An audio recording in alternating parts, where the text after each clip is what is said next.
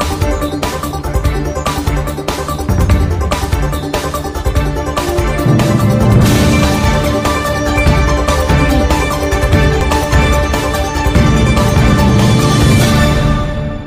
सीकर ज़िले के फतेहपुर कस्बे में अखिल राजस्थान कोविड स्वास्थ्य संघ एसोसिएशन के प्रदेशा अध्यक्ष विकास पुनिया नबीपुरा के नेतृत्व में एसडीएम कार्यालय पर शनिवार को चौथे दिन भी धरना जारी रहा। प्रदेशा अध्यक्ष विकास पुनिया ने बताया कि शनिवार को चमड़िया कॉलेज के पूर्व छात्र संघ अध्यक्ष प्रताप सिंह नारी और नेशनल वॉलीबॉल खिलाड़ी सोनू हुडिल नागो ने धरने को समर्थन दिया।